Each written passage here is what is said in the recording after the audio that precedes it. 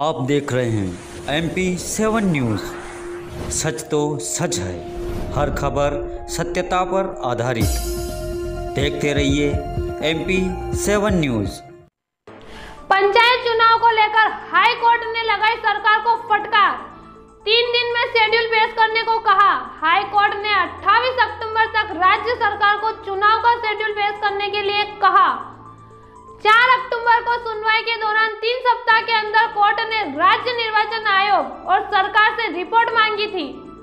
राज्य शासन ने कोर्ट में नहीं पेश किया है स्टेटस रिपोर्ट नमस्कार, मैं हूँ निर्मला वस्नानिया और आप देख रहे हैं मध्य प्रदेश का top digital news channel MP seven news. देखिए चुनाव से संबंधित विशेष बड़ी खबर. आप चैनल को सब्सक्राइब करें, लाइक करें व बेल आइकन को प्रेस ज़रूर करें. कोरोना की वजह से एमपी में पंचायत और नगरीय निकाय चुनाव दो साल से टल रहे हैं। इसे लेकर एमपी हाई कोर्ट ने सरकार को फटकार लगाई है।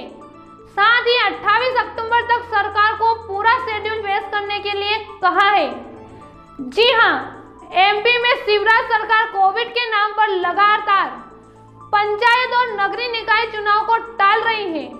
इस बीच एक उपचुनाव कराए गए हैं और दूसरे उपचुनाव की तैयारी चल रही है। मगर पंचायत चुनाव को बीते एक साल से टाला जा रहा है। हाई कोर्ट में पंचायत चुनाव को लेकर याचिका लगाई गई थी।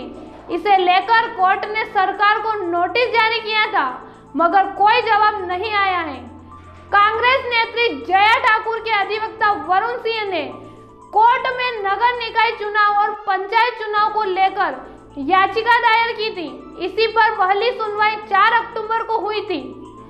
हाई कोर्ट ने एमपी सरकार और राज्य निर्वाचन आयोग को तीन सप्ताह के अंदर कोर्ट में जवाब देने के लिए कहा था, मगर सरकार की तरफ़ से कोई जवाब पेश नहीं किया गया। इसे लेकर याचिकाकर्ता के वकील ने कहा कि राज्य निर्वाचन आयोग इलेक्शन करवाने के लिए तैयार है। उसने कोर्ट में जवाब भी पेश किया।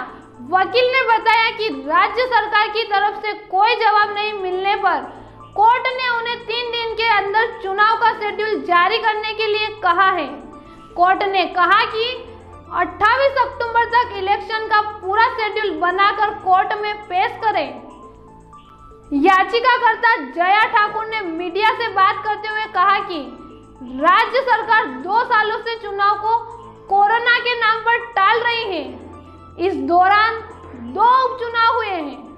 सरकार बनाने के लिए एमपी सरकार चुनाव करवा रही है, मगर पंचायत चुनाव नहीं करवा रही है।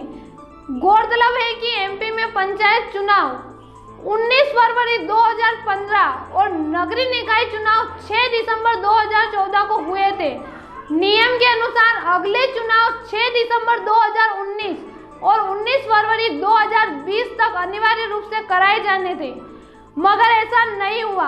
हालाँकि एक सप्ताह पहले चुनाव आयोग ने यह संकेत दिया है कि प्रदेश में पंचायत चुनाव तीन चरणों में कराए जाएँगे।